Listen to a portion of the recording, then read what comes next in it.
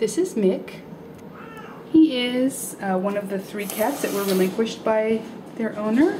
He's about 12 years old. He's been neutered already.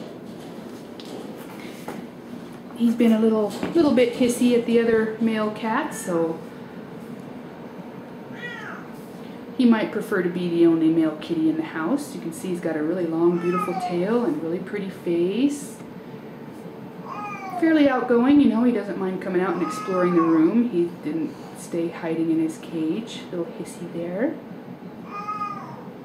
Mic. But these are three really nice cats that got brought in and relinquished. Alice and Mic and Kyle. This is Mic. Again, he's about 12 years old. He looks really healthy. Beautiful cats.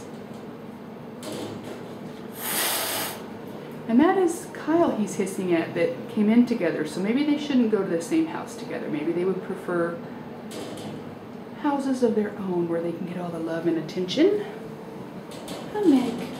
Yeah. See, there's something really good in that cabinet, though. Everyone wants to go there. So if you're interested in Mic, he's available for adoption at the Craig Animal Shelter.